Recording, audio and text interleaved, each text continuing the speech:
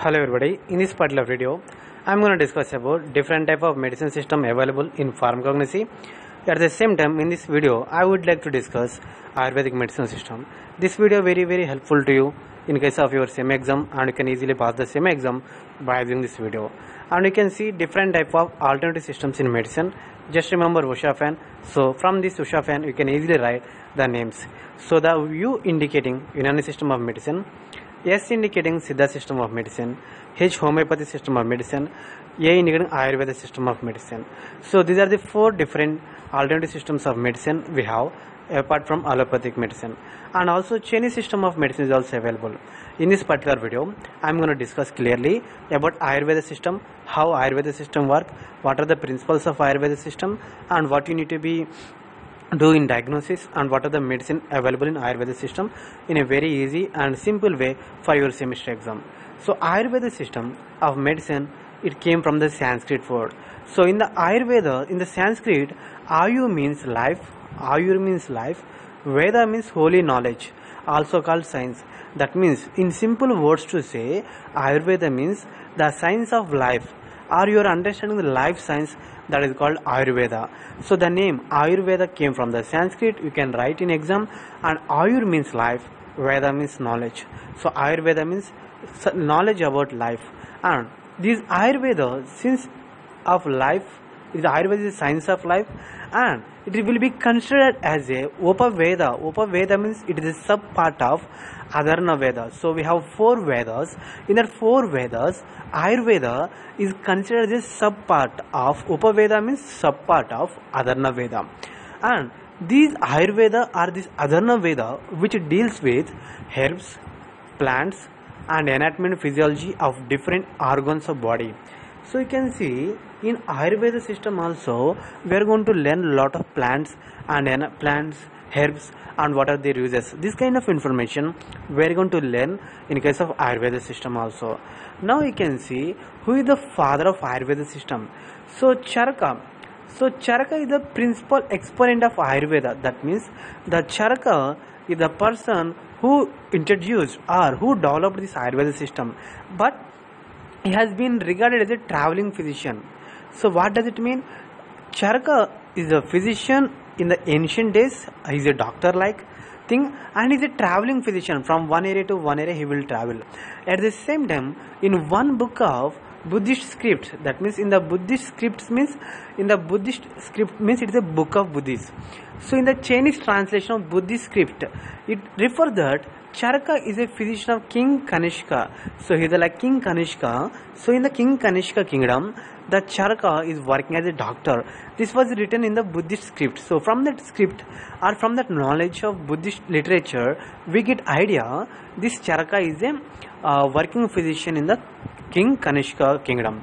And Charaka Samhita. So this Charaka written one book called Charaka Samhita, believed the whole text of Ayurveda, which was edited by Charaka. Okay, so Charaka from Agnivesha Samhita. So that means Charaka taking the information about Ayurveda from Agnivesha Samhita and he written the book called Charaka Samhita. Okay, and Agnivesha is a student of Sage Atreya. So Sage Atreya is the guru for Agnivesha and from that Agnivesha he written Agnivesha Samhita from that Agnivesha Samhita, Charaka written Charaka Samhita. Getting my point? So, Agnivesha is a student of Atreya. From that Atreya, Agnivesha learned about Ayurveda. From that Agnivesha, he written Agnivesha Samhita. And from that Agnivesha Samhita, Charaka written Charaka Samhita. And so, Atreya is a considered as a founder of Ayurveda. And Sushruta, so he the Sushruta, he, he written the Sushruta Samhita. And these Sushruta will be considered or introduced surgery in Ayurveda. That is the reason Sushruta will be considered as the father of surgical medicine. Okay, and the theory of basic concepts of Ayurveda. Ayurveda is based on three fundamental principles. The first fundamental principle is Panchabhuta, Sam, Panchabhuta Sadhanta, Siddhanta, and three dosha theory, another thing called Guna, Rasa, Virya, Vipaka, and Prabhava Siddhanta. So this theories I am going to discuss very in detail and very clearly. So what is Panchabhuta Siddhanta? Simple thing, it is known to everyone. Panchabhuta. Panchabhuta means earth, water, fire, air, and water. So these are the things like air, earth, water, fire, and another component is also there. So these are the uh, five. So earth means you can see Prithvi. So in Sanskrit, Prithvi means earth. The basic role of Prithvi is that in the body form shapes. Okay, and jal. Jal means water. So in Panchabhuta, jal function is that it maintains the moisture, liquidity, and lubrication of the body. And Agni. Agni means fire. It produces the heat and energy in the body. Vayu means air. So that means it is a as a prana prana so a vital role which control the respiration akash so this is like sky. So these all are the five parts of panchabhuta siddhanta. And according to ayurveda ayurveda believe that every substance is combination of these five mahabhutas so our bodies also be made up of these five mahabhutas according to ayurveda. Each mahabhuta has one characteristic feature and affects mean identification this the body has perfect balance of these five elements like panchabhutas whenever these panchabhutas are distributed are disturbed automatically we get unhealthy conditions or illness will be developed according to ayurveda. In ayurveda we have panchabhutas one bhuta is prithvi that is called earth. Jal water. Agni fire. Vayu air. Akash. Whenever this disturbance in these five bhutas automatically we get ill or uh, disease like situation according to the ayurveda system. And another important thing in ayurveda system is that three dosha theory so what is meant by three dosha theory dosha means impurities or imbalance so according to ayurveda we have three doshas. One is called vata another thing called pitta another one kapha so this vata pitta kapha whenever there is imbalance happen in the vata kapha pitta we get the disease according to the ayurveda so what is vata vata dosha is constituted from the vayu or akash so that means in simple words to say vata means vayu air so which is balanced vata brings about our respiration. So that means in vata dosha means you have some respiratory problems. Imbalance of these factors occur due to air quality diet cold weather. For example if you're in the cold weather automatically your breathing will be affected and water and air quality if air quality is not good automatically your respiratory system get affected. So according to vata dosha means affecting of your respiratory system is called vata dosha. And another dosha is also available dosha so that is called pitta so pitta dosha means originated from agni. So like it is having acidity so pitta dosha means it have acidity agni it have hot bright and acidic character. Simple words to say it is the acidic situation or gastric so stomach problems. That is called pitta dosha and in the balance it is a balanced pitta condition helps in the digestion metabolism and energy production. In case of pitta dosha what will be happen? When you get the pitta dosha automatically your digestion and metabolism all are affected and imbalance in this dosha brought about hot weather and hot spicy food. For example you can see i already told pitta dosha means indigestion or stomach problems. If we take hot and spicy food automatically definitely you get the spicy or this pitta dosha that is called indigestion problems. Another dosha is called kapha dosha so kapha dosha means it is made of prithvi and jal so like it is a water and heavy character in heavy and character.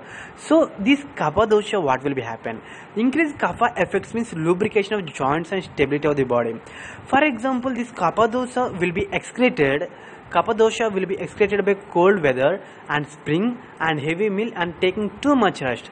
For example if you take too much rest automatically you get the joint pains right? That is called kapha dosha and kapha dosha is also known as like a sputum also okay? That is also be kapha dosha okay all of about three doshas vata pitta kapha have been individually divided into five types depending upon their function. So these are the three doshas like kapha pitta and vata dosha. It is very important in ayurvedic system. And another like guna rasa virya vipaka prabhava siddhanta. So what does it mean? So if you want to remember simple this simple version of this just remember that g varprasad name just g varprasad so g means guna that is called quality. V means virya. An active principle of the potency characteristic drug and v means vipaka that is end product of digestion. R means rasa, therapeutically active ingredient. P means Prabhava. The actively actual therapeutic activity of the drug because of this prabhava only. D means darvya drug substances. So this is simple thing. This rasaguna virya vipaka siddhanta based upon this only. Guna means quality of the drug. Virya means active principle which is potency characterized. Vipaka means end product of the digestion rasa means therapeutically active constituent prabhavata means therapeutically active drug of the individual so this is about your five uh, guna uh, rasa virya vipaka prabhava siddhanta and in ayurveda siddhanta we have tridosha dhatu mala siddhanta so another siddhanta is also there that is called tridosha dhatu mala siddhanta. In simple word to remember tridosha dhatu mala siddhanta just remember samosa is super.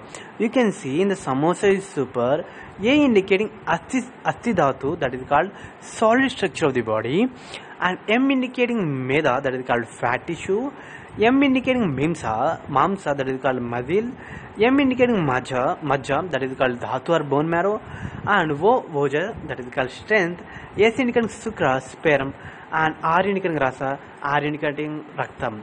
Raktam means blood, rasam, rasa means plasma, plasma, shukra means sperm, voja means strength of the body, like this. Majja means bone marrow, and mamsa means mazil, meda means fat, dhatu. So this three dosha dhatu mala siddhanta this is right. Simple you can write three dosha dhatu mala siddhanta and you can write these side headings there. That is enough for this. And the three main malas from the body according to Ayurveda that is called purisha, that is called feces, mutra, urine, sweda, sweat. That means these are the three major excretions that came from the body according to Ayurveda system. And it is supposed that how doshas, dhatus are present in perfect balance and it bring the all health in while. Like whenever this all dhatus and dhatus are in good, we not get any health problems. Whenever there is imbalance, we get the illness.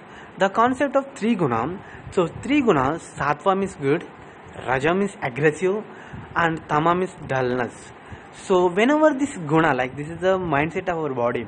So these are qualities of mind. Whenever the imbalance between the sattva, raja, tama, it will cause more and more health problems, right? So diagnosis, how you diagnose the disease according to this Ayurveda system. The diagnosis of disease according to Ayurveda system, the Charaka Samhita describe the Nidana Sthana. So what does it mean? Nidana Sthana means we should identify primary cause and what is the reason behind this disease. And in the treatment what we do means we remove the uh, re- reason from the disease.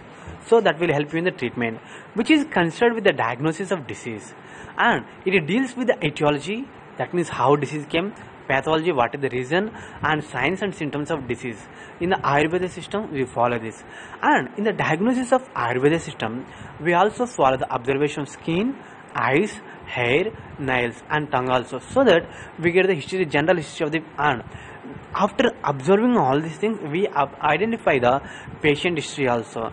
And recording of pulse is very important in ayurveda diagnostic. Because based upon your pulse also we define what dos- dosha you are getting affected. So dosha basis pulses characters. So based upon your pulse rate we identify with which dosha you are getting affected. And gastrointestinal tract circular system is noted.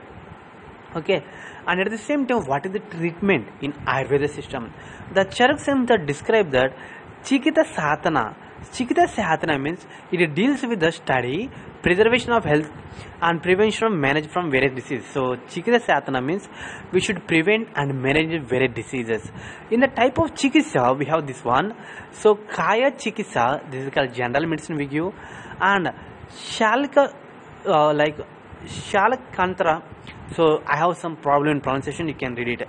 So that is called treatment of disease above circular and region from uh, like uh, Shalaka, and this is like Shalya. Uh, Shalyantara. So acute and chronic disease treatment. This is called Shalyantara, and so this is like uh, you can read. So I have some problem in pronouncing. So toxic substance chikitsa is called this one. Okay, and so Vijakarnam, so disease of genital organs, and both both vidya for diseases which have logical cause of factor, no logical cause of factor. That is called both vidya in Ayurveda treatment. So this also you can read. So for pediatric diseases, and so what are the some powders examples that are available? So if you want to remember the examples of powder treatment in ayurveda just remember this. Mrp so m means mandur r means rasiyan p means pishti p means prapti k means kesar c means churna b means bhasma. Bhasma churna kashar prapti and pishti rasiyan mandur all are the powders in ayurveda system liquids in ayurveda system example just remember adme so arshita arka asva dravana hima kavat manda these are the examples of liquids in ayurveda medicine tablets in ayurveda medicine it is called gutika vati vatika so these are the medicines in ayurveda system. I hope you enjoyed this. Thank you and have a great day. If you like this video hit that thumbs up button and